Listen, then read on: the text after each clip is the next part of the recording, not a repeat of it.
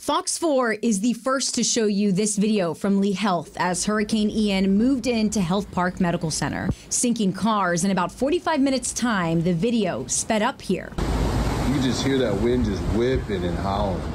It was also around this time something just wasn't right. Nikija Lynch Escobar's four month son, Jaira, just out of NICU two months earlier, got sick with RSV, and it was getting worse. As soon as the power went out, things started to decline. It wasn't until the next morning that it was safe enough for an ambulance to get Jaira to Golisano's Children's Hospital. They had power.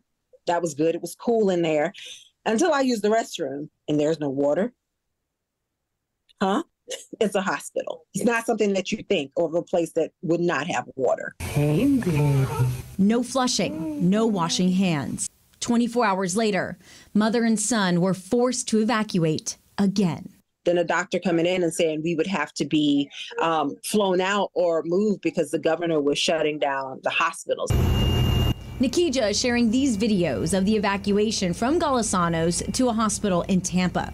She was one of 416 patients transferred in five days to more than 50 different hospitals across the state. 67 were NICU babies, according to a Lee Health report. It, it, was monumental. It was. Fox 4 investigating tonight the lessons learned by our area hospitals NCH Healthcare in Collier County, HCA Healthcare in Charlotte County, and Lee Health in Lee County. Speaking with Lee Health's Director of Public Safety and Emergency Management, Gloria Graham. It was the biggest disaster that I had ever been you know, charged with kind of managing. Fox 4 obtained this after Ian action report from Lee Health showing four main themes involving staffing, training, and pay.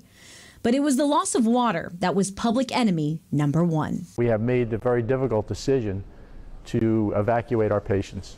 Health Park here at Lee Health got hit the hardest. The parking lot that I'm standing in was underwater. That means dozens of patients and staff cars wiped away. But the biggest problem with Lee Health's hospital system was the loss of water pressure. Both Golisano's and Health Park, as long as Cape Coral Hospital, three of the four hospitals losing total water pressure. You know, we're doing a lot of things as it relates to infrastructure. Instead of relying on Lee County utilities alone, Lee Health is now taking infrastructure on themselves, building their own wells at hospitals. We do fully intend to put wells at all of our campuses so that we can have an independent water source. And contracting out temporary tankers for the 2023 hurricane season until those wells are built. And while water was running dry at Lee Health, this is Fawcett ICU. It was pouring in at HCA Fawcett Memorial in Port Charlotte. Part of the roof ripped open, and the flooded ICU was seen nationwide. With around 160 patients having blown off as Hurricane Ian was pounding Florida. Fox 4 was there in January when the hospital and ICU reopened. It happened very quickly um, with the amount of work that we had to do. And they invested in what's called a Tiger Dam system, seen here, used just last month for Hurricane Idalia, which stretches and changes shape to stop flooding. NCH Healthcare in Collier County is investing in something similar. I want to tell you that we're working really hard as a team. Though NCH didn't have flooding, they are improving employee communications, building their own internal severe weather website, and replacing all first floors with impact glass doors. Also, the next major hurricane has less of an impact on those who need help the most. In Fort Myers, Nadeen Yanes, Fox 4.